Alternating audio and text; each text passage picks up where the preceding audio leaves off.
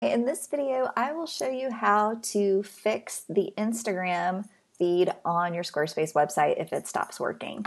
So in my blog on my sidebar, I have my Instagram feed here and I noticed that it hasn't been updating. So I have some new posts that aren't showing up here and I'll walk you through how to fix that.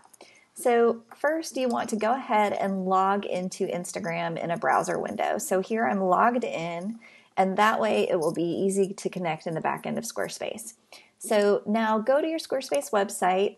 Once you're logged in, go to settings and connected accounts. So here I can see what the problem is. Um, my Instagram is no longer authorized, so I just need to re-authenticate the account. So I'll click re-authenticate here. And in my pop-up window, uh, this is the correct account. So I'll click continue to connect it to Instagram.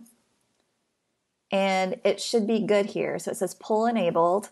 I'm going to scroll down. This looks wonky because it's a, um, a sidebar and it's not reflected yet. So here are a couple of things we can do. So the first thing I want to do is click this account again and click reset data.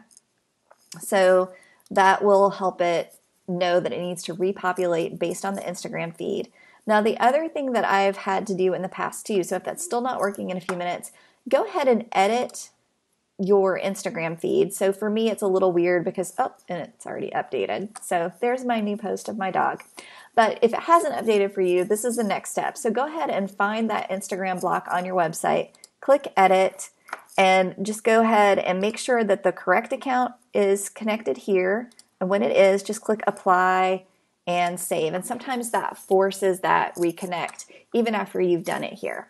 So I hope that helps and all your Instagram feeds work properly again. Thanks so much for watching.